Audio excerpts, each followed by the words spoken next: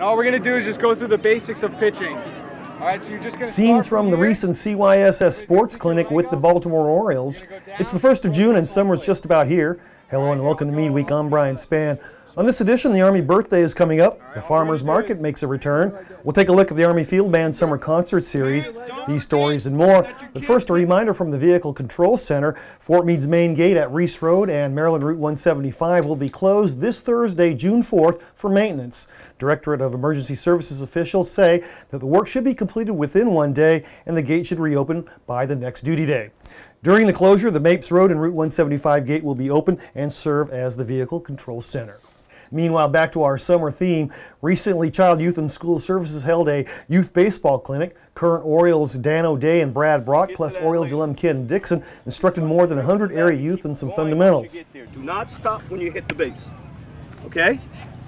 The reason we do that is because when you're actually in a game, when you run through the base, you have a better chance of being safe. The clinic is just one way that the Orioles support Fort Meade and local service members. The Orioles hold a series of military appreciation days, like the recent Memorial Day holiday with Garrison Commander Colonel Brian Foley throwing out the first pitch. The Orioles also make a big contribution to the Fort Meade community for every Sunday home game. Ownership, management, leadership, players, coaches, staff. The, the Orioles organization supports our U.S. military better than any baseball team, period. Cool? These guys give us 500 free tickets for every Sunday home game for us to use for free. So please, if you have not taken advantage of that, please come to Parks and Rec and do that and take advantage and get those free tickets. You might have been in the stands this past Sunday for the game against Tampa Bay. Your next opportunity, as it turns out, will be June 14th, the Army's 240th birthday. Tickets are made available the week of the game, on Thursdays for active duty and their families, and on Fridays for the rest of the community. Speaking of the Army birthday, Fort Meade's observance is coming up on Friday, June 12th. The Fort Meade chapter of the Association of the United States Army, or AUSA, is hosting its annual birthday breakfast at 7.30 at Club Meade. This year's guest speaker is Medal of Honor recipient Lieutenant Colonel Alfred Rascon. Tickets are available at the Fort Meade Community Credit Union with a limited number available at the door. Meanwhile, here's a birthday message from the Army Chief of Staff and the Sergeant Major of the Army.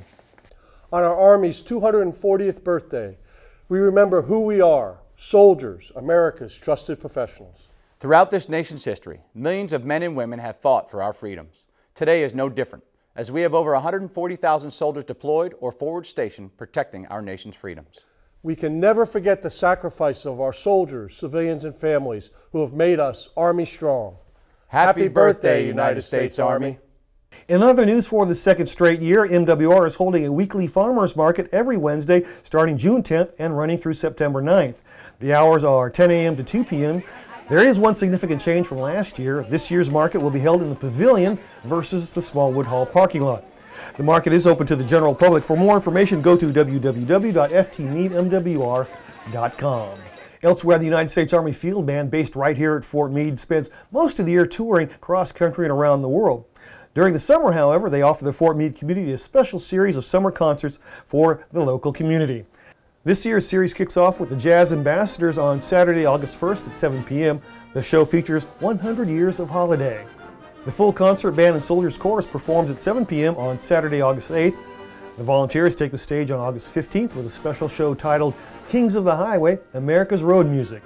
The summer concert series wraps up on August 22nd with the concert band and Soldiers Chorus. We've had issues with weather in recent years, but the 1812 Overture, complete with cannon fire, is scheduled for this year. Once again, the summer concerts start at 7 p.m. at Constitution Park. That's just across the street from the McLaughlin Parade Field. For more information, go to www.armyfieldband.com. And that's Meade Week for this week. I'm Brian Spann. For everyone at Meade TV and the Fort Meade Public Affairs Office, have a great Meade Week.